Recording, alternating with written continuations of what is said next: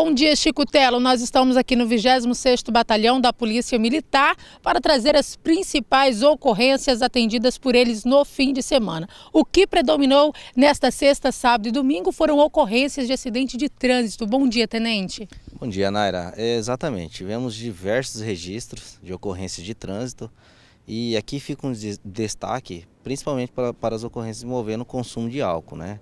Tivemos aí condução, pessoas presas, por consumir bebida alcoólica e logo após tentarem né, dirigir o veículo. Algumas, inclusive, sofreram um acidente de trânsito e também foram detidos pela guarnição.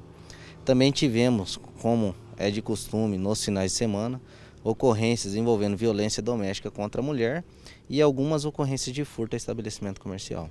Tenente, é referente a, aos acidentes envolvendo aí álcool e direção, que a gente sabe não, que não combina, as pessoas sabem que pode levar multa, a pessoa pode ser conduzida para a delegacia também. É, teve no domingo de manhã, todos amanheceram aí com um trágico acidente, né? Graças à pessoa não teve vários ferimentos, mas o veículo ficou totalmente destruído.